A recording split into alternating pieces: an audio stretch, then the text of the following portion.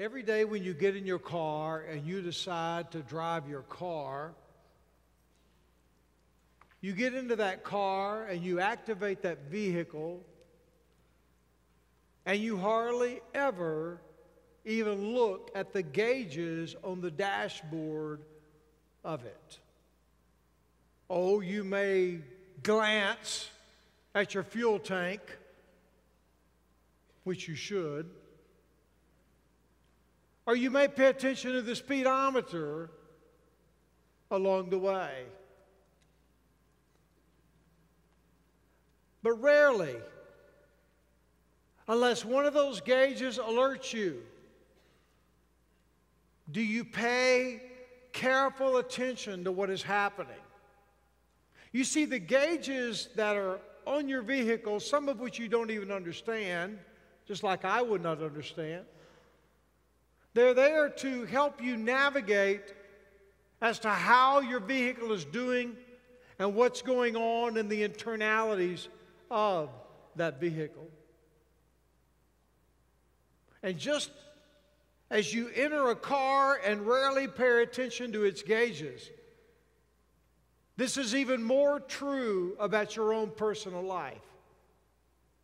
You see, in your life, your life is filled with all kinds of gauges. And if you don't pay attention to what those gauges are telling you, you can end up in a situation that is not favorable to your life. We need to look at the dashboard of our own personal lives to determine what is going on within our lives. You see, a gauge is an instrument that helps you measure how you're doing. Whether that be for the simplicity of a vehicle or some electronic device, but even more so, it's important for your life.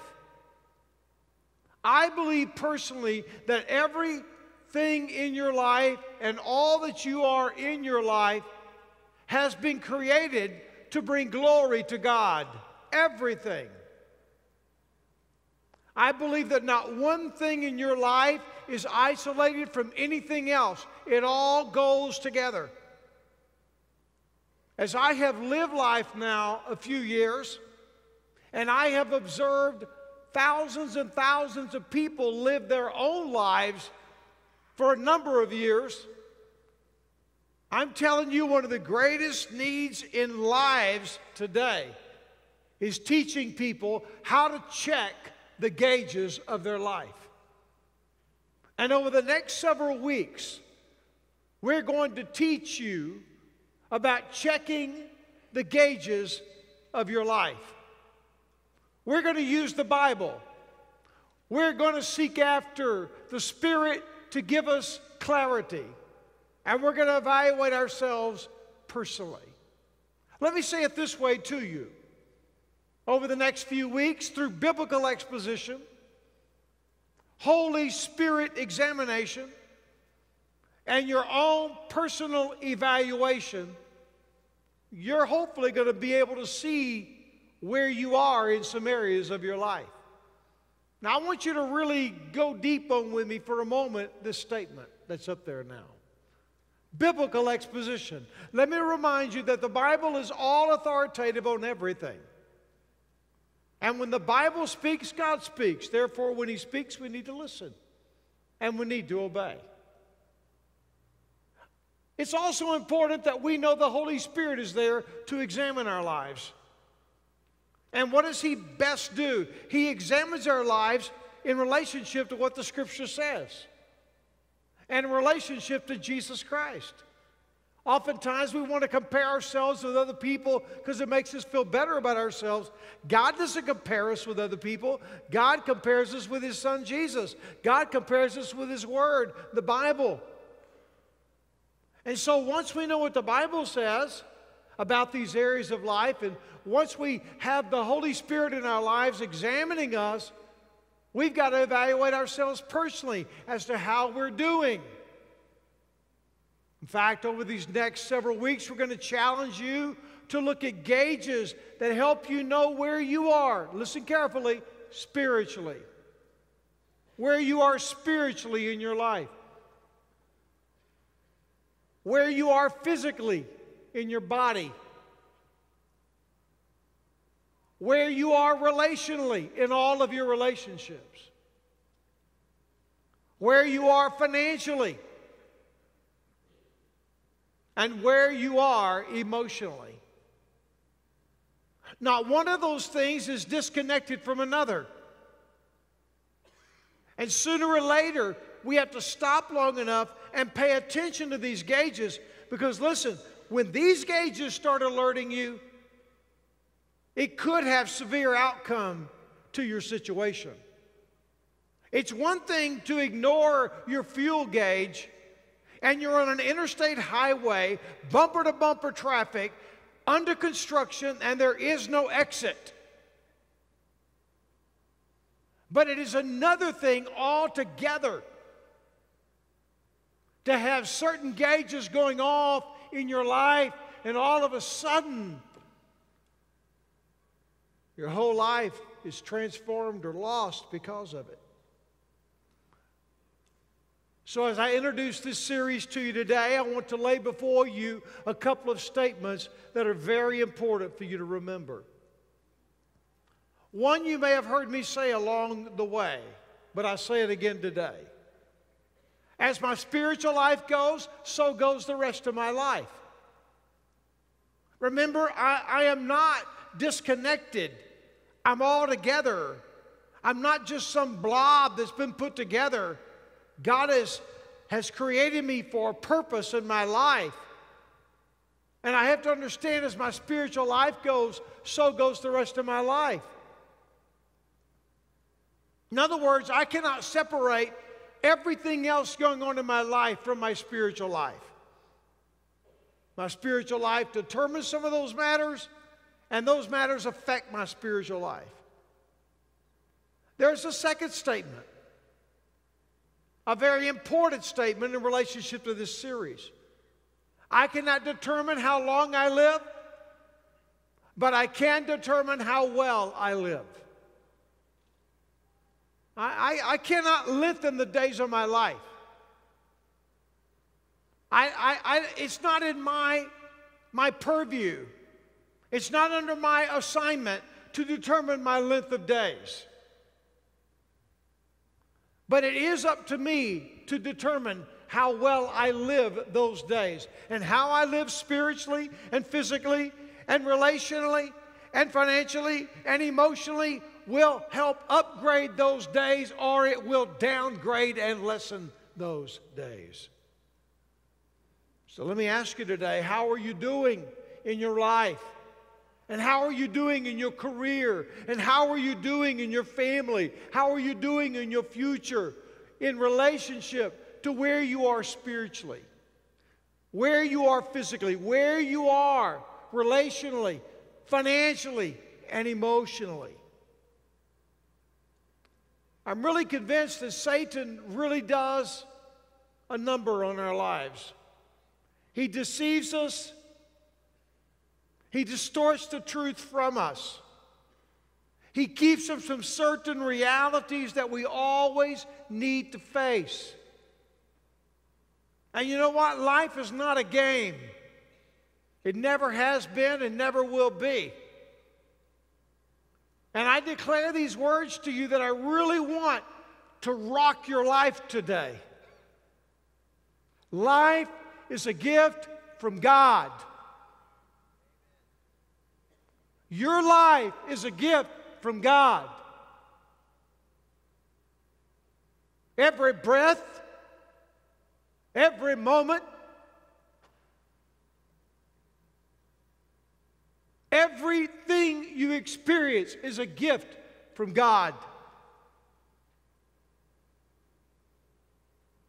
Therefore, you better understand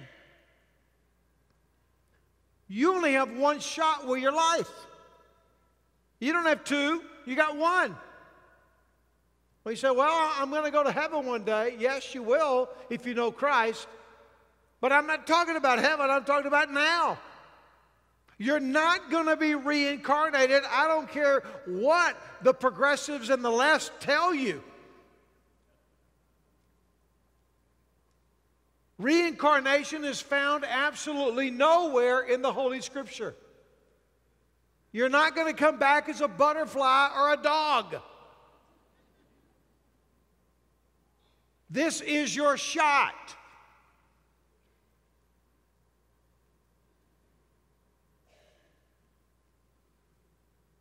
So you better make it count. Make it count.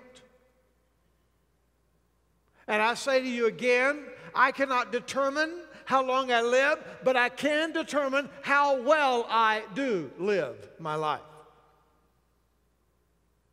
And so this morning, what I'm going to do is that I'm going to begin this series with a question, and this question is the title of the message today On Purpose or by Accident? On purpose or by accident? Our text this morning is over in the book of Colossians, chapter 1. Remember, through biblical exposition, Holy Spirit examination, and personal evaluation, we're going to take a look today to see if your life is on purpose or just some accident. The Bible says these words in chapter 1 of Colossians in verse 15, and they're speaking of Jesus. He is, Jesus is the image of the invisible God, the firstborn over all creation.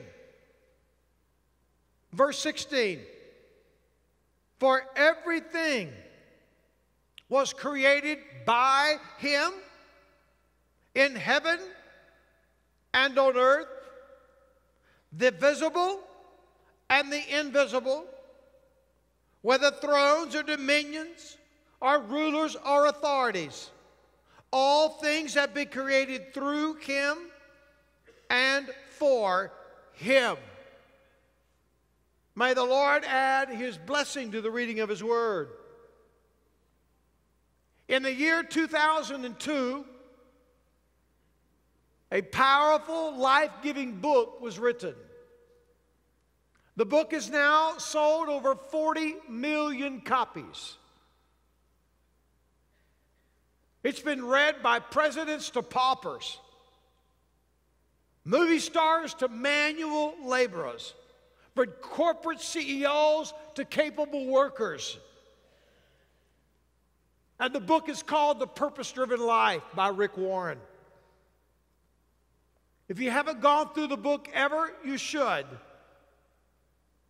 Takes about five or 10 minutes a day. You read it, and it gives you 40 days where your life concentrates about purpose, living a purpose driven life. If you've done it once, I went through the book again over the last few days and looking at various segments of it again. I've gone through it at least two or three times in my own life, but I've looked back through it, and boy, what statements fill this incredible book. In fact, Warren, in his opening sentence, absolutely captivates one of the most powerful statements that's probably been quoted as much as any book other than the Bible with his opening statement. The opening statement of his book is this it's not about you. It's not about you. Tell your children that today and see what they think. It's not about you. And then Warren writes something like this The purpose of your life is far greater than your own personal fulfillment, your peace of mind, or even your happiness. That's a pretty powerful statement, is it not? That your own personal fulfillment is really what life is not about. Your own peace of mind, your own happiness. That something else is going on, that the purpose of your life is far greater than that. Absolutely. Warren even makes a statement like this You were born by His purpose and for His purpose. Sounds kind of biblical, doesn't it? Look at Colossians 1:16. Warren writes these words You were made by God and for God, and until you understand that, life will never make sense. That is a profound statement. And then Warren declares this incredible insight you are not an accident. You're not an accident. You don't live in accident. God has created you for purpose and to live purpose. Talk about a mind blowing thought. Look at this one. Long before you were conceived by your parents, you were conceived in the mind of God. Wow. Is that not amazing?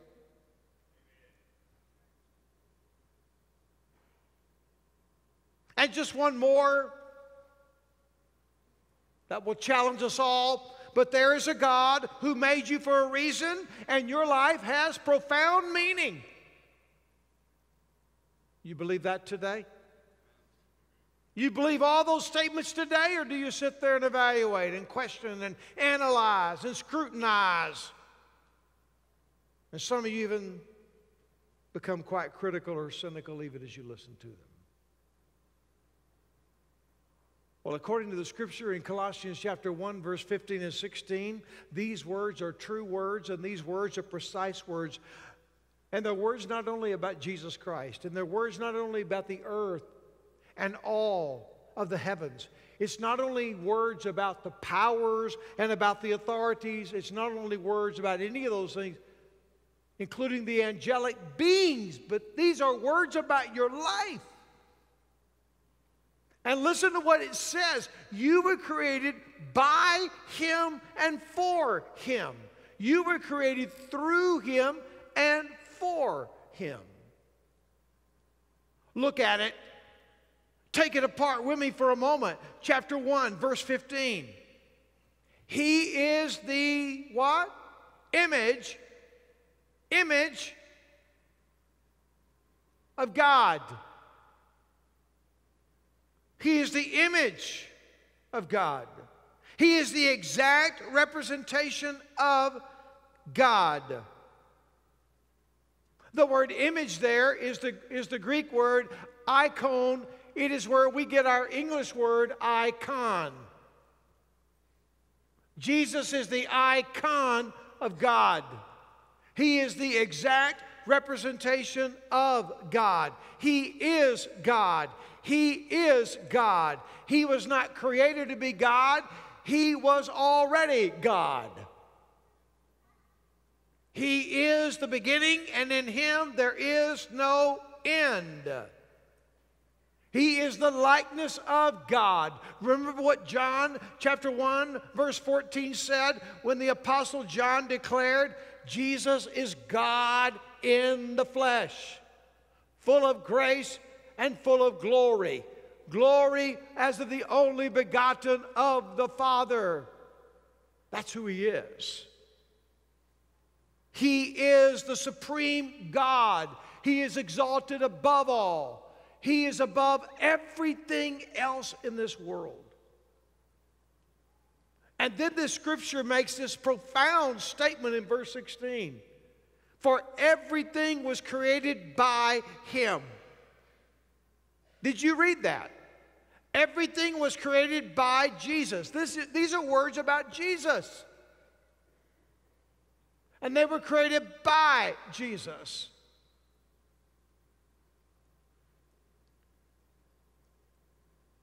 What was created by Jesus?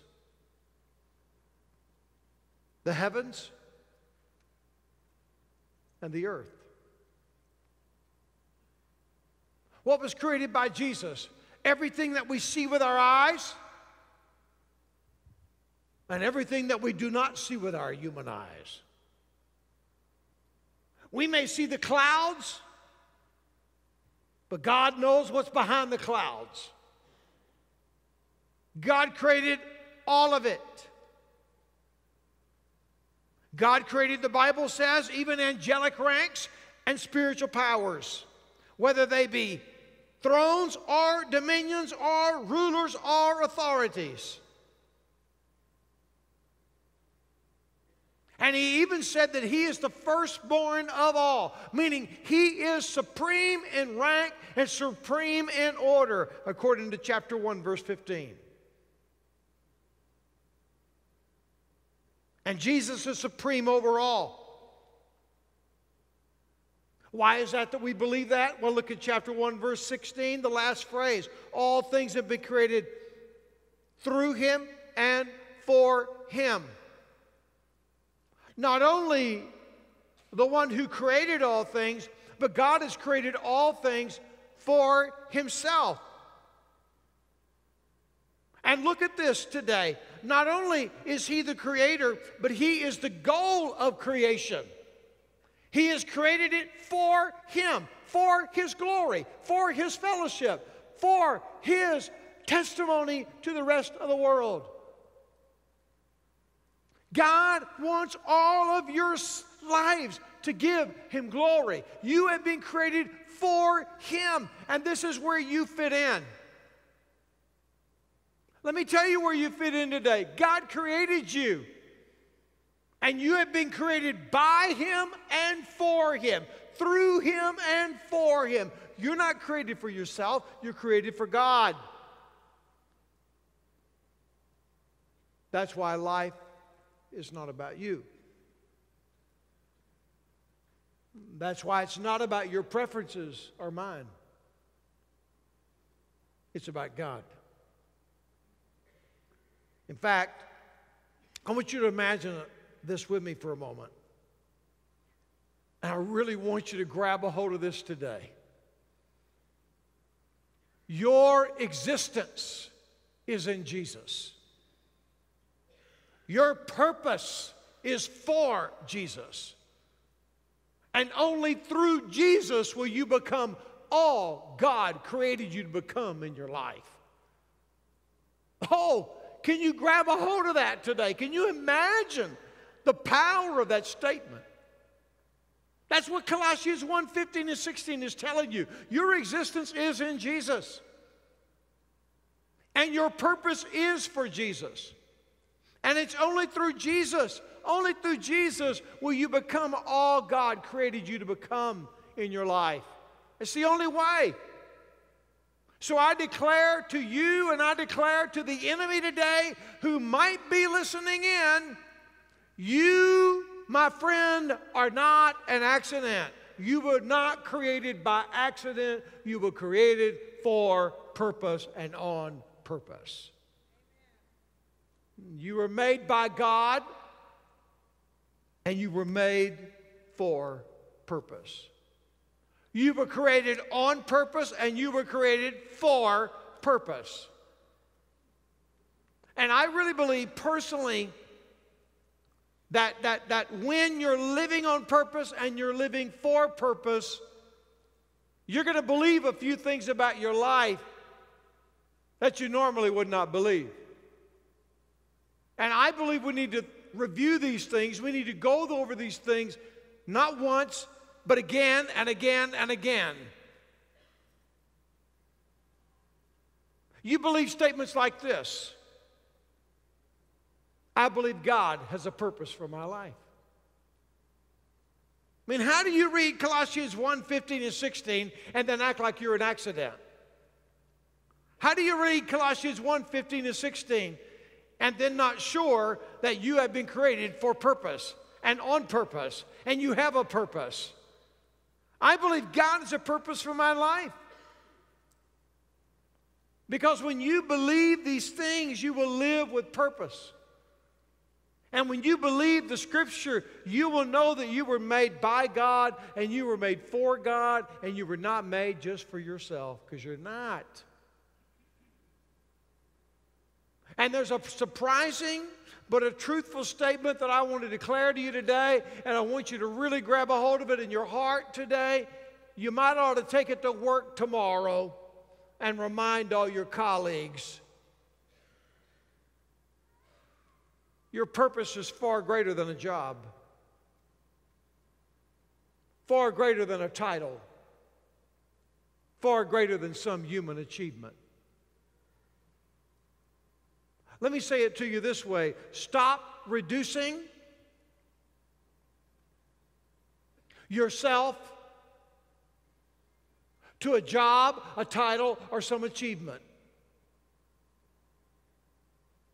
And stop devaluing human life by putting it on a job, a title, or some achievement because you may not always have a job and you may not always achieve and you may not ever have a title.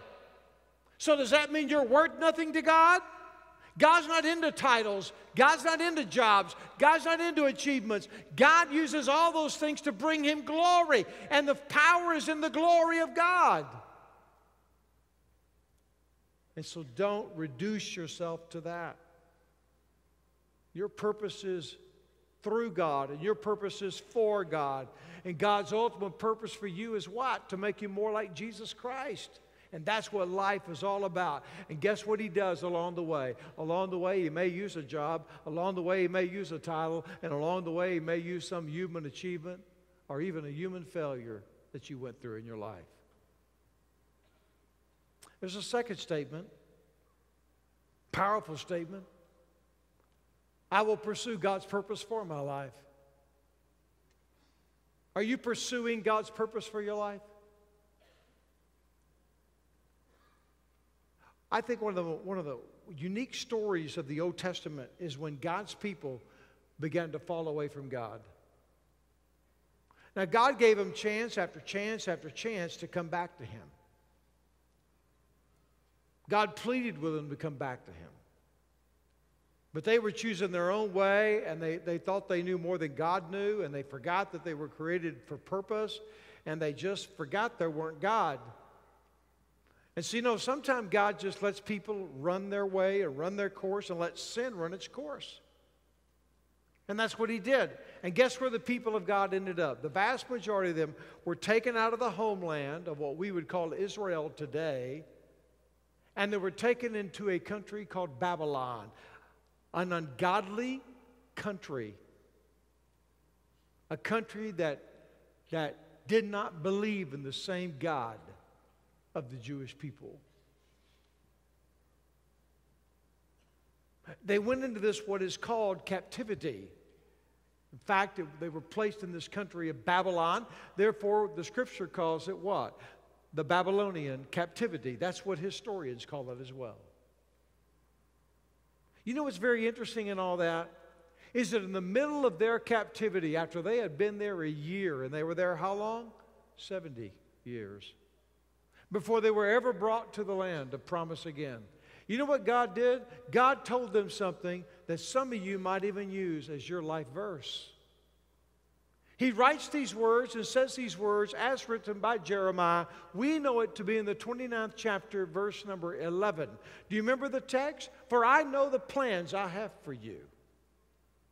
This is the Lord's declaration. Plans for your well being, not for disaster but to give you a future and a hope. Now, here they were, choosing their own way, away from the Lord. God let them have sin, run sin into its course. They find themselves in captivity, away from God, and God loves them so much, and God tells them, I know you're there and you're in it, but I'm telling you, I have plans for your life.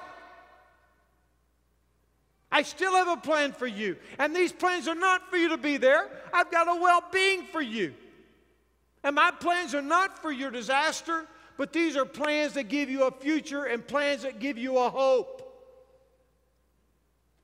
So pursue those plans.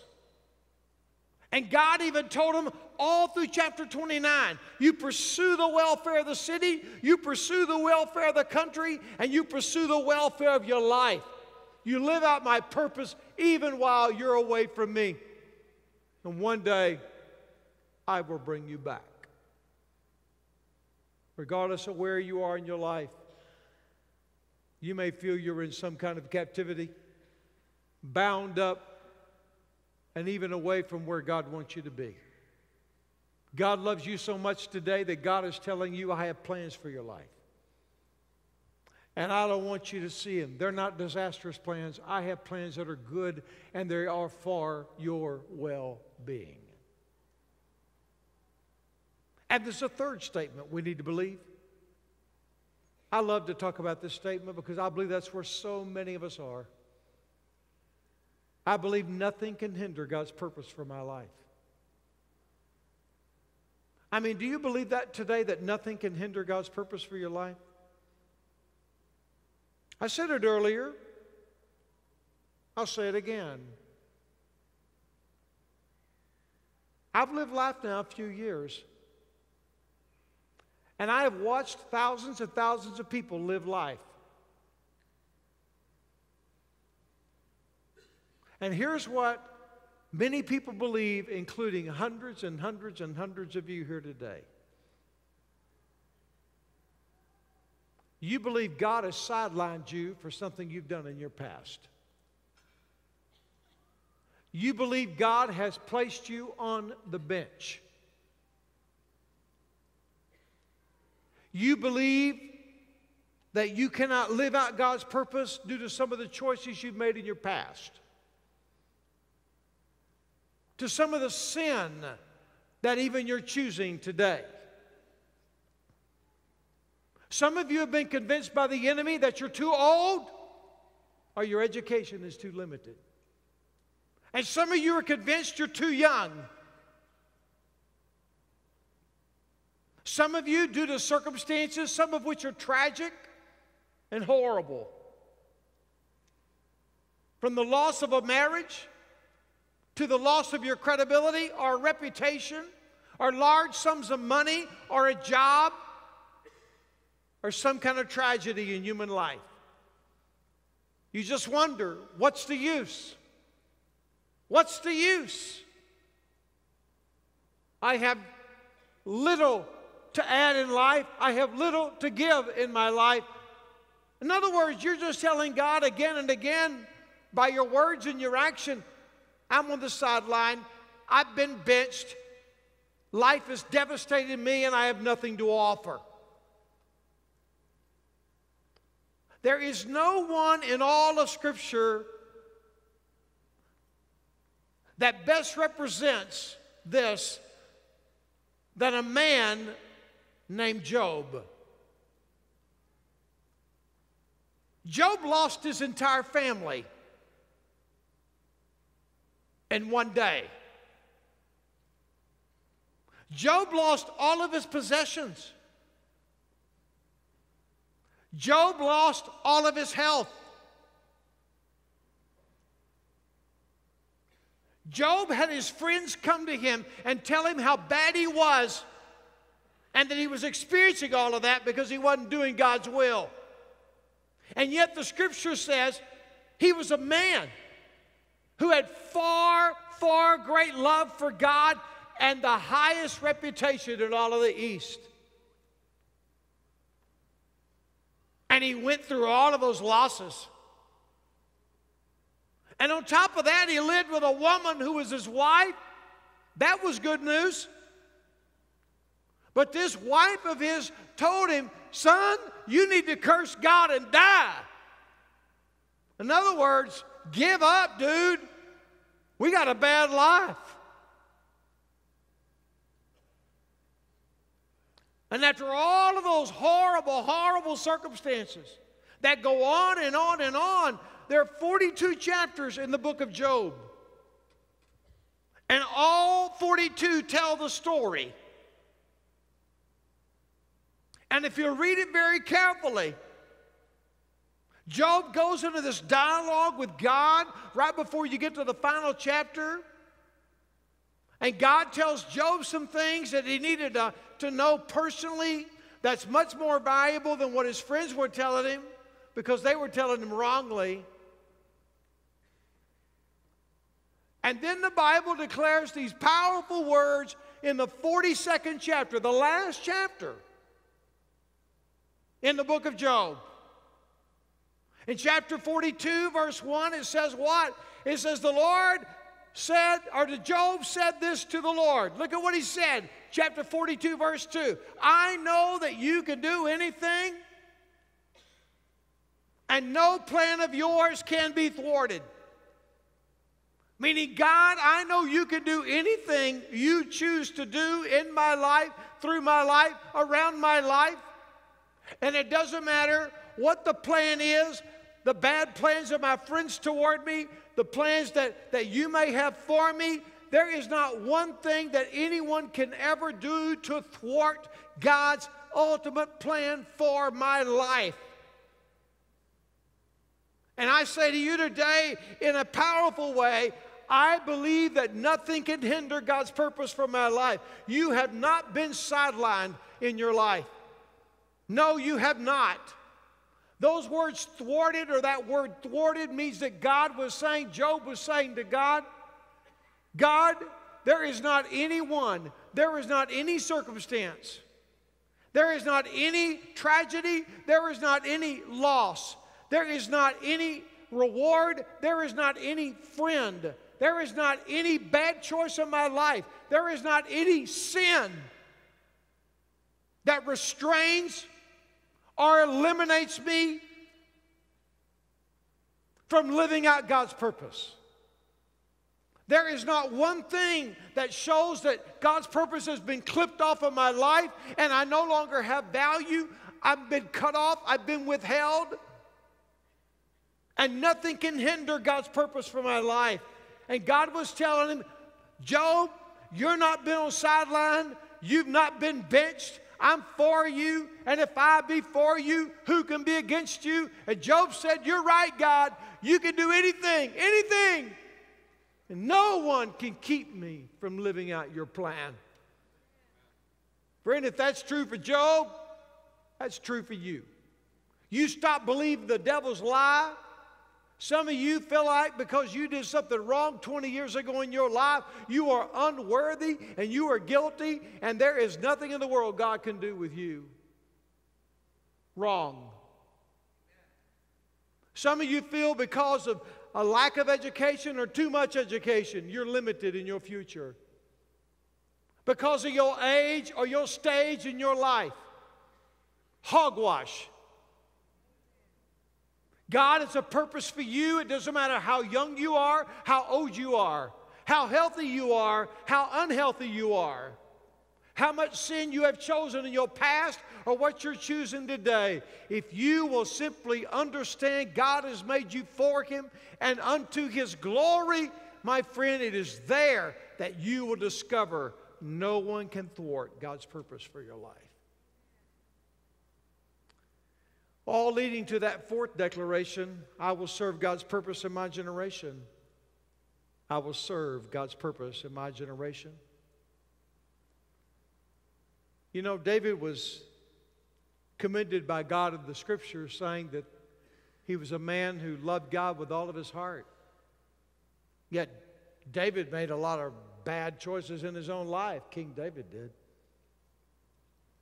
But I think one of the most insightful verses in all of Scripture is found in chapter 13 of the book of Acts in verse 36, reflecting upon David.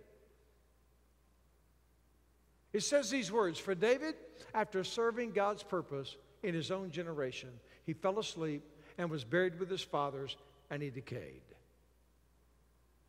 In other words, God says that Job lived out his purpose for his generation, and then he died and then he was buried, and then his body decayed, and one day the Lord will raise him up, even though his spirit is right now with the presence of the Lord.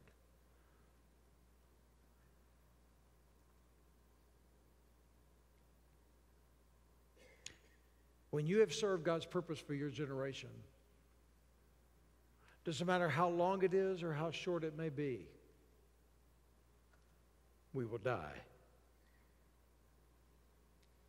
We will be buried and our bodies will decay. And one day God will raise our bodies up if we know Christ. You see, God determines my days. It doesn't matter how many miles I run a day, it doesn't matter what I eat or don't eat. It does not matter how my relationships are or how poor they may be. Or where I am in certain elements of my life. I cannot add days to my life. But I can do this. The days I have, I can determine how well I live for Christ. By all of the choices that I make spiritually and physically, relationally, financially, and emotionally. My friend, let me ask you are you living out God's purpose for your generation? A lot of life we just don't understand. There's some people that live so long, they wonder, what in the world is God going to do with me? Why am I here? Well, I don't know the answers to that. But I know whether you are with a walker, on crutches, or in a wheelchair,